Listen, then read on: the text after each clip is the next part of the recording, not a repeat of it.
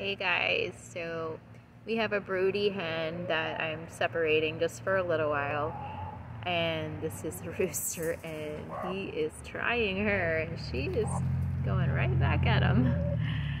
Thought it was funny.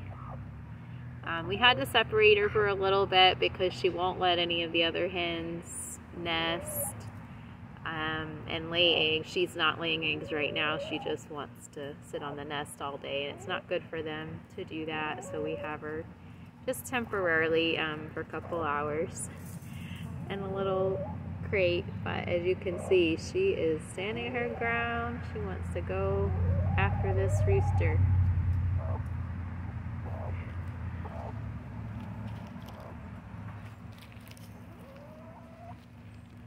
Guess he gave up. I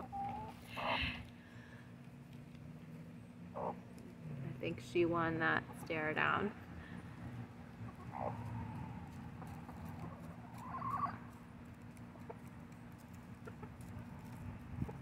Here's our other boy coming over to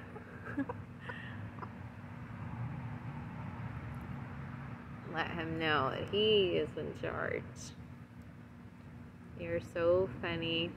They definitely have a pecking order, and as you can see, she's um, not as aggressive towards this one because she's this is her, the one that she's used to, the rooster that she's grown up with. Though our white Silkie is a little newer. So she is all right with this guy.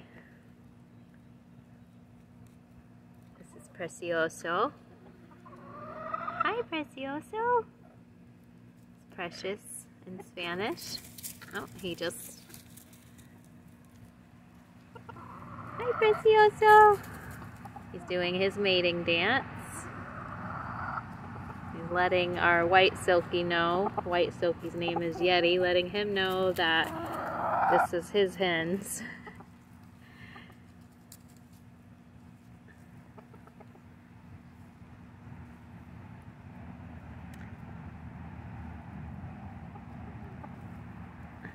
We let her back out in a little bit.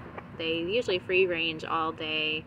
Um, it's just that it's really difficult right now because the other ones need to get into their nesting boxes and she won't allow it. And sometimes we've even had situations where another hen uh, suffocated one of our favorite hens in one of the nesting boxes. So they, um, they have this natural instinct to lay and hatch and they will do it at any cost.